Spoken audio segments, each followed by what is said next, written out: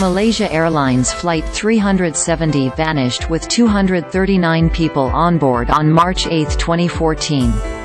A decade later, it remains one of the most enduring aviation mysteries.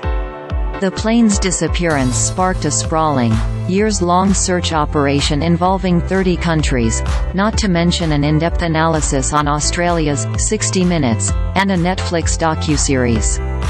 This past week, at a memorial event to mark the 10th anniversary of the jet's disappearance, Malaysian Transportation Minister Anthony Loke said the government is open to a further search operation if there is credible evidence. An American company recently submitted a proposal to the government, sparking hope for closure among families of those who went missing. Here's a timeline of key events. In the early hours of March 8, 2014, Malaysia Airlines Flight 370 from Kuala Lumpur to Beijing suddenly dropped from radar. There were 227 passengers and 12 crew members aboard the aircraft, a Boeing 777. The passengers represented 14 nations, but most were Chinese.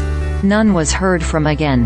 The last communication from the plane was 38 minutes after takeoff, when it was over the South China Sea. Military radar captured it veering dramatically off its intended path, heading westward, before the signal was lost. It is believed to have fallen into the Indian Ocean inside Australia's search and rescue area. A search commenced, and Malaysian, Australian and Chinese authorities agreed to comb more than 23,000 square miles of ocean for evidence. Malaysian officials in January 2015 declared the disappearance of Flight 370 an accident and the passengers and crew aboard presumed dead, paving the way for the airline to pay settlements to the families.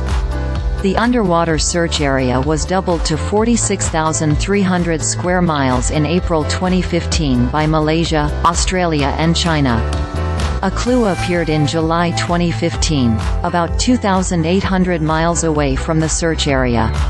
A piece of debris that was strikingly similar to a movable wing part found on Boeing 777s washed up on the small French island of Réunion in the Indian Ocean.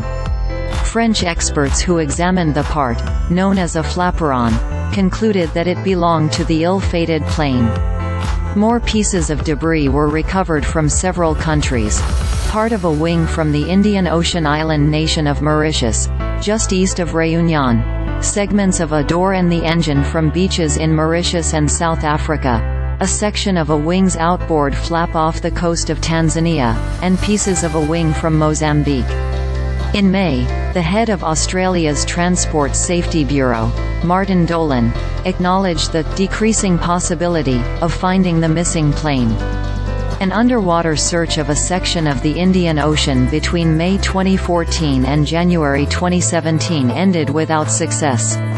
Australia led the operation with support from Malaysia and China, and officials from the three nations said the decision to call off the effort has not been taken lightly nor without sadness.